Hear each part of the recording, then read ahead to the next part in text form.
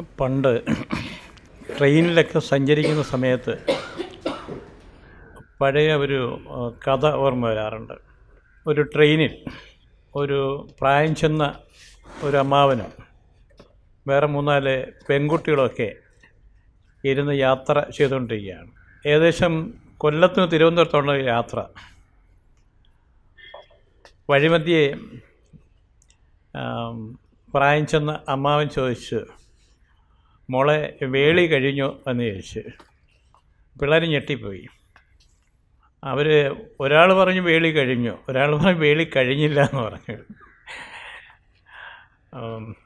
പിന്നീടാണ് പിള്ളേർക്ക് ഈ വേളിയുടെ അർത്ഥം മനസ്സിലാകുന്നത്. വേളി എന്ന് പറഞ്ഞാൽ കല്യാണം കഴിഞ്ഞു വന്നത് സത്യത്തിൽ അദ്ദേഹം ചോദിച്ചത് വേളി എന്ന് പറയുന്ന സ്ഥലം കഴിഞ്ഞു എന്നാണ് ഈ കഥ ട്രെയിനിൽ കയറി വേളി ഭാഗത്തിലൂടെ കൊച്ചുവേളി വഴിയൊക്കെ ഞാൻ പോകുമ്പോൾ പലപ്പോഴും ഈ കഥ ഓർക്കാതെ പോകാറില്ല അതുകൊണ്ട് ഈ വേളയിൽ ഇപ്പം വന്ന് നിൽക്കുമ്പോൾ ആ കഥ ഓർത്തു പോയെന്ന് മാത്രം. നമ്മളിന്നിവിടെ മതേതര ഉത്സവത്തെക്കുറിച്ചാണ് ഇന്നിപ്പം ആഘോഷിക്കാൻ തുടങ്ങുന്നത്. നമ്മുടെ നാട്ടിൽ നിലവിലിപ്പോൾ രണ്ട് തരം ഉത്സവങ്ങളുണ്ട്. ഒന്ന് മതപരമായ ഉത്സവങ്ങളും ഒന്ന് മതേതരമായ ഉത്സവങ്ങളും. എന്നാൽ പലപ്പോഴും ഈ മതേതരമായ ഉത്സവങ്ങളെ ഉത്സവങ്ങളായി പലരും അങ്ങനെ ഗവനിക്കാറില്ല. മതപരമായ ഉത്സവങ്ങളെയാണ് ആൾക്കാർ ഗവനിക്കുന്നത്. മാത്രമല്ല സർക്കാർ ഉൾപ്പെടെ പലപ്പോഴും അവധിയൊക്കെ കൊടുക്കുക വീട്ടിൽ ബന്ധുമിത്രാദികളെല്ലാം വിളിച്ചു കൂട്ടുക അടുത്ത അമ്പലത്തിലെ ഉത്സവം സ്വന്തം ഉത്സവമായി കാണുക അതങ്ങോട്ട് ആഘോഷിക്കുക എന്ന് പറയുന്നത്. ഇത് നമ്മുടെ നാട്ടിൽ ഓണം ഒരു ഉത്സവ ഉത്സവമാണ്. ദീപാവലി ഉത്സവമാണ്. പിന്നെ വൃശ്ചിക മാസത്തിലെ കാർത്തിക അല്ലെങ്കിൽ ക്രിസ്മസ് റംസാൻ ഇതെല്ലാം ഉത്സവങ്ങളാണ്. പക്ഷേ ഈ ഉത്സവങ്ങളെല്ലാം തന്നെ മതപരമായ ചട്ടക്കൂട്ടിൽ മാത്രം നിൽക്കുന്ന ഉത്സവങ്ങളാണ്. മതപരമായ ചട്ടക്കൂടി നിൽക്കുന്ന ഉത്സവങ്ങളെന്ന് പറയുമ്പോൾ അതിലടങ്ങിയിരിക്കുന്ന അന്തസ് അന്തസ്സാരം അന്ധവിശ്വാസമാണ്. എന്നാൽ ഉത്സവങ്ങൾ അന്ധവിശ്വാസമല്ല. ഈ ഉത്സവങ്ങൾ അതിൽ പങ്കെടുക്കുന്ന എല്ലാവർക്കും ആനന്ദം കിട്ടുന്നുണ്ട്. അതുകൊണ്ട് തന്നെ ആയിരിക്കാം വിപുലമായി വിപുലമായി വീണ്ടും വീണ്ടും ഉത്സവങ്ങൾ എന്തിന്റെയെങ്കിലും പേരിൽ ഉണ്ടാകുന്നത്. എന്നാൽ ഈ അടുത്ത കാലത്തായി ഇതിന് ബദലായി വളർന്നു വന്നിട്ടില്ലെങ്കിൽ പോലും മതേതര ഉത്സവങ്ങൾ പല മണ്ഡലങ്ങളിലും ഉണ്ടായിട്ടുണ്ട്. നമ്മുടെ പള്ളിക്കൂടങ്ങളിൽ അടുത്ത കാലത്തുണ്ടായൊരു ഒരു ഉത്സവമാണ്. സ്കൂൾ തുറക്കുന്നതിന്റെ അന്ന് സർക്കാർ തന്നെ കൊണ്ടുവന്ന ഒരു ഉത്സവമാണ് പ്രവേശന ഉത്സവം. അപ്പോൾ ആ പ്രവേശന ഉത്സവത്തിൽ ഞാൻ സ്കൂളിൽ ജോലി ചെയ്തിരുന്നു. ആ കാലത്ത് ഒരു പ്രവേശന ഉത്സവത്തിൽ അടുത്ത ആനയൊക്കെ ഉള്ള കുടുംബം ഉണ്ടായിരുന്നു. അപ്പോൾ അവരോട് എന്നിട്ട് കുഞ്ഞുങ്ങൾക്ക് വേണ്ടിയാണ് ഒരു ആനയെ അവിടെ കൊണ്ടുപോയി രാവിലെ ഒന്ന് നിർത്തി എന്ന് സഹായിക്കണം എന്ന് പറയുമ്പോൾ അവരെ തയ്യാറായി. അപ്പോൾ ആന ഉൾപ്പെടെയുള്ള അമ്പാരിയോട് കൂടിയുള്ള പ്രവേശന ഉത്സവങ്ങൾ നമ്മുടെ സ്കൂളിൽ ഇപ്പോൾ ഈ പേര് നടക്കുന്നുണ്ട്. അതുപോലെ തന്നെയാണ് ഈ കായികോത്സവങ്ങൾ കലോത്സവങ്ങൾ. നമ്മളെ സ്കൂൾ ധരിച്ച് തലത്തിൽ പ്രാദേശിക നമ്മുടെ എൽ പി സ്കൂളിൽ തൊട്ട് തുടങ്ങി ആനിവേഴ്സറി എന്ന് പറയുന്ന കലോത്സവം. അത് പിന്നെ ഓരോ ഉപരിതല ക്ലാസ്സുകളിലും ജില്ലാ സംസ്ഥാന കലോത്സവങ്ങളായി മഹാമേളകളായി ഇപ്പോൾ നമ്മുടെ മുമ്പിലുണ്ട്. ഇതൊന്നും മതപരമായ ആഘോഷങ്ങളുടെ മതേതരമായ ഉത്സവങ്ങളാണ്. എന്നാലും ഇതിൽ എന്തുകൊണ്ടോ ഒരു അശ്രദ്ധ ഈ മതേതര ഉത്സവങ്ങളോട് നമുക്ക് ഉണ്ട്. നമ്മുടെ നാട്ടിൽ പൂരം എന്ന് പറഞ്ഞാൽ വലിയ സംഭവമാണ്.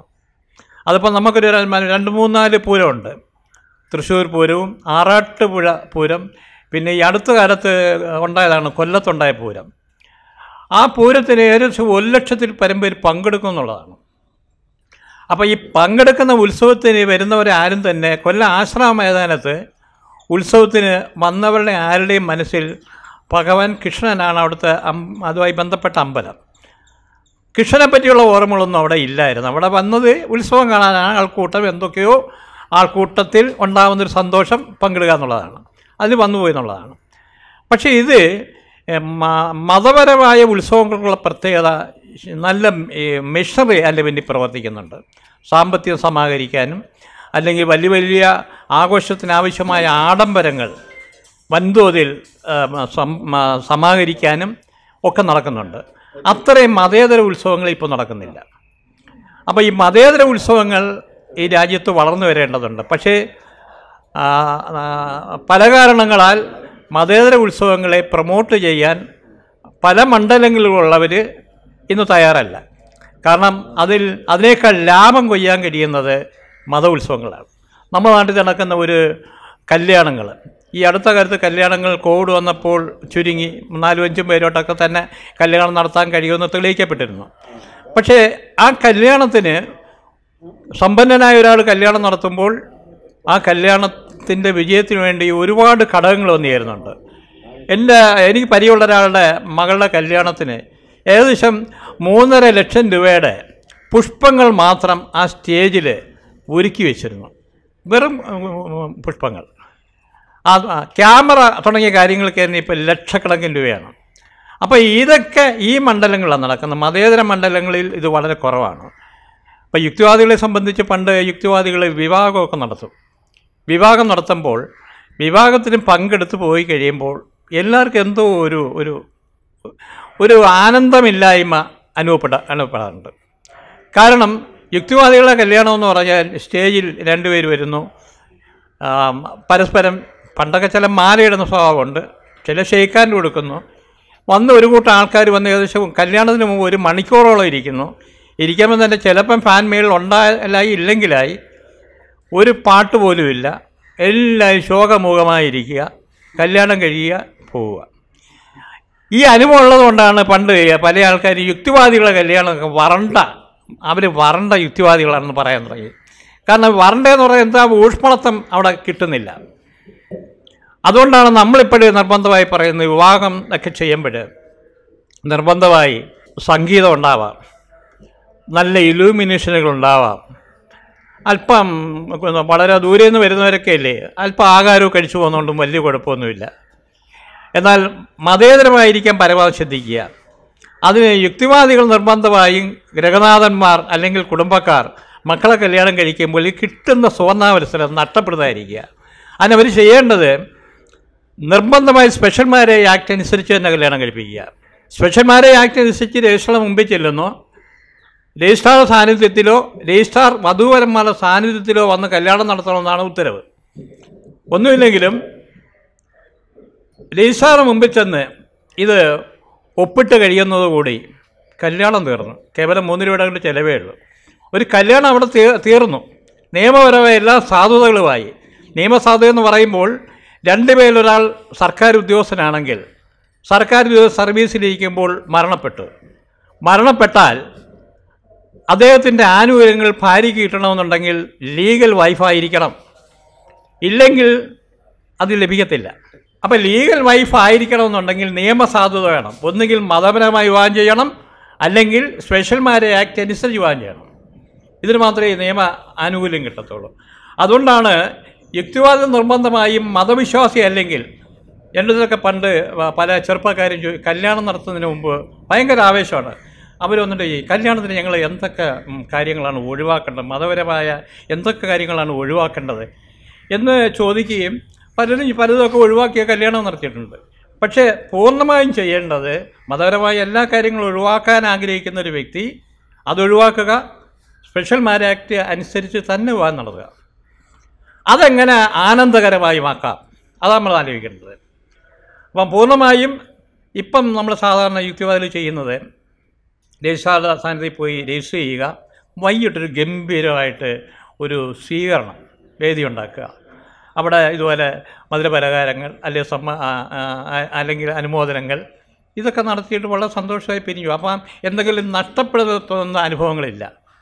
നമ്മളെ യുക്തിവാദികളുടെ കല്യാണം ഇപ്പം ഞാൻ അടുത്ത കാലം സീമാട്ടിയിൽ കണ്ടൊരു കല്യാണം നടന്നു. അപ്പോൾ എന്റെ അടുത്ത് ഒരു സുഹൃത്ത് യുക്തിവാദിയല്ല. അദ്ദേഹം വന്നിങ്ങനെ പറയുകയാണ് നിങ്ങളെ ഇനത്തിൽപ്പെട്ട ഒരു പാർട്ടിയുടെ കല്യാണത്തിന് ഞാൻ പങ്കെടുത്തിരുന്നു.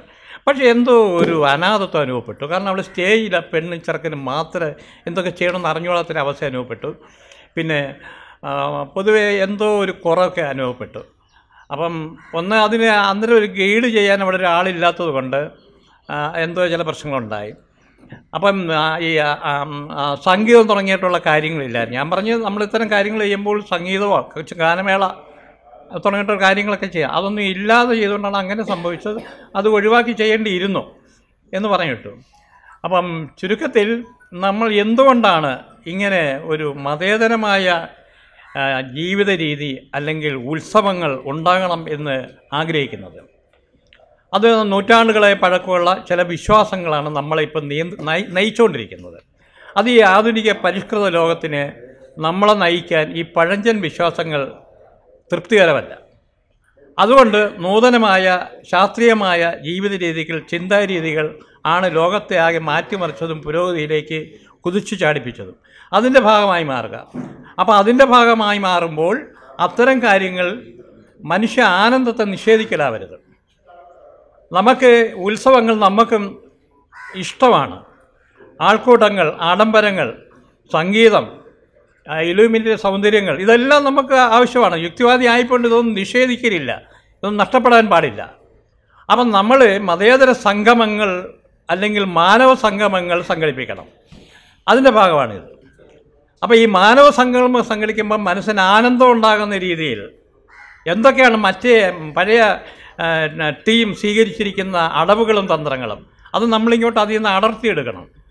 അടർത്തിയെടുത്തുകൊണ്ട് ഇത് ചെയ്തു കഴിഞ്ഞാൽ ഇതും മനോഹരമാകും. അപ്പം ഇത് എന്ന് പറയുന്നത് ഇതൊരു സമാന്തര സംസ്കാരമാണ്. നിലവിൽ മതപരമായിട്ടുള്ള അനവധി സംസ്കാരങ്ങൾ നമ്മുടെ മുമ്പിലുണ്ട്. എന്നാൽ മതത്തെ മുഴുവൻ ഉപേക്ഷിച്ചുകൊണ്ടുള്ള ഒരു ബദൽ സംസ്കാരം ഉണ്ടാകേണ്ടിയിരിക്കുന്നു. ഒരു സമാന്തര സംസ്കാരം ഉണ്ടാവേണ്ടിയിരിക്കുന്നു ആ സംസ്കാരം എന്ന് പറയുന്നതാണ് മതരഹിതമായ ജീവിത രീതിയും ആനന്ദകരമായ സന്ദർഭങ്ങളും മറ്റും. അപ്പം ആ രീതിയിലൂടെ ഡെവലപ്പ് ചെയ്ത് വരുമ്പോൾ നമ്മുടെ സൊസൈറ്റിക്ക് ഒരു നവീന മുഖവും എല്ലാ അർത്ഥത്തിലുള്ള വികസന നേട്ടങ്ങളും ഒക്കെ ഉണ്ടാകും എന്നുള്ളതാണ്. അപ്പോൾ അതിനുവേണ്ടി ഉള്ള ഒരു തയ്യാറെടുപ്പിന്റെ ഭാഗമായിട്ടാണ് ഇന്നിപ്പോൾ ഇങ്ങനെ ഇവിടെ കൂടിയത്. ഇത് ഇത് ഒരുപക്ഷെ യുക്തിവാദികൾ പണ്ടേ ചെയ്തു വരുന്ന മറ്റൊരു രൂപമുണ്ട്. കുടുംബമേളകൾ. കുടുംബമേളയിൽ സാധാരണ യുക്തിവാദ വിഷയങ്ങളും വലുതായിട്ട് ചർച്ച ചെയ്യാറില്ല. അനവധി കുടുംബം യുക്തിവാദികളായിട്ടുള്ള അനവധി പേരുടെ കുടുംബങ്ങൾ ഒരു കുടുംബത്തിൽ സമ്മേളിച്ചുകൊണ്ട് ഇത്തരം കാര്യങ്ങൾ സംസാരിക്കാൻ സന്തോഷകരമായി പിരിഞ്ഞു പോകുന്നൊരവസ്ഥ സാധാരണ യുക്തിവാദികളുടെ എല്ലാ സമ്മേളനങ്ങളും പഠന ക്ലാസ്സുകളും പ്രഭാഷണങ്ങളും സെമിനാറുകളും ചർച്ചാ സമ്മേളനങ്ങളും ഒക്കെ കൊണ്ട് സമ്പന്നമാണ്. ഇതൊക്കെ ഒരു പഠനശാലയുടെ സ്വഭാവമാണ്. പഠിക്കാൻ വരുന്നവർക്ക് കിട്ടുന്ന സാധനം മാത്രമായിട്ടാണ് ഒരു സ്കൂളായിട്ടാണ് അക്കാഡമി ആയിട്ടാണ് യുക്തിവാദ സംഘം ഈ അടുത്ത കാലം വരെ ഏകദേശം പൂർണ രൂപത്തിൽ പ്രവർത്തിച്ചുകൊണ്ടിരിക്കുന്നത്. അത് തന്നെയാണ് പ്രധാന ലക്ഷ്യവും. പക്ഷേ അതിൽ നിന്നൊരു ഒരു പുതിയ ടിസ്റ്റ് ഒരു പുതിയ മുഖമാണ് ഈ മതേതര ഉത്സവം എന്ന് പറയുന്നത്. എങ്ങനെ യുക്തിവാദികൾക്ക് ഒരു മതേതര ഉത്സവം സംഘടിപ്പിക്കാം? അത് നമ്മളെ പഴയ കുടുംബമേളകൾ കുടുംബ സംഗമങ്ങളുടെ ഒരു വികസിത രൂപമാണ്. അപ്പോൾ ഇത്തരം സമ്മേളന പ്രാധാന്യത്തെപ്പറ്റി നമ്മുടെ അവതാരകൻ സൂചിപ്പിക്കുകയുണ്ടായി. നമ്മുടെ ഇന്നത്തെ കാലഘട്ടം ജനാധിപത്യവും മതേതരത്വവും എല്ലാം അവ അപകടപ്പെട്ടിരിക്കുന്ന ശാസ്ത്രവും എല്ലാം അപകടപ്പെട്ടിരിക്കുന്ന ഒരു വളരെ ഡേഞ്ചറസ് ആയ ഒരു സാഹചര്യത്തിൽ ഇത്തരം ഉത്സവങ്ങൾക്ക് ഇത്തരം സംഗമങ്ങൾക്ക് വളരെയധികം പ്രാധാന്യമുണ്ട്. അപ്പോൾ അതിനുവേണ്ടിയുള്ള ഒരു ചെറിയൊരു നാന്നുകുറിക്കൽ ആയ ഈ സമ്മേളനം എന്തുകൊണ്ടും ഇപ്പം ഇപ്പം തന്നെ സമ്പന്നമായി കഴിഞ്ഞിട്ടുണ്ട്. ഇത്തരം സമ്മേളനങ്ങൾ നമ്മുടെ നാട്ടിന്റെ നാനാമൂലകളിലും അടിയന്തരമായി ഉണ്ടാകേണ്ട ഒരു പ്രധാന കാലഘട്ടമാണിത്. അപ്പോൾ അതിലേക്ക് നിങ്ങൾ ഓരോരുത്തരും നിങ്ങളുടെ നാട്ടിൽ പോയി ഇതുപോലുള്ള ഉത്സവങ്ങൾ സംഘടിപ്പിക്കാൻ മുൻകൈ എടുക്കണം എന്നുള്ള അഭ്യർത്ഥനകളുണ്ട് ഒപ്പം നമ്മൾ ഉത്സവങ്ങൾ നടത്തുമ്പോൾ നമ്മുടെ മറുഭാഗങ്ങളിൽ നിൽക്കുന്ന ആനയും അമ്പാരിയും പോലെയുള്ള കാര്യങ്ങൾ കൂടി ഇങ്ങോട്ടെടുത്ത് വെച്ച് ചെയ്യാവുന്നതാണ്. നമ്മൾ നമ്മളിതിനെല്ലാം നിഷേധിക്കുന്നതുകൊണ്ട് കുറ്റം പറഞ്ഞുകൊണ്ട് ഇതൊന്നും എടുത്ത് ഇതൊന്നും ഇല്ലാതെ നമ്മൾ ചെയ്ത് വരണ്ട രീതിയിൽ പോകണമെന്നും ആകരുത്. ഇത് കണ്ടാൽ എല്ലാവർക്കും ഒരു സന്തോഷം തോന്നണം.